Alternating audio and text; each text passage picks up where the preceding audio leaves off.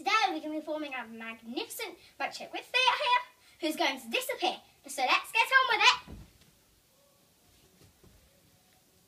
Has she gone?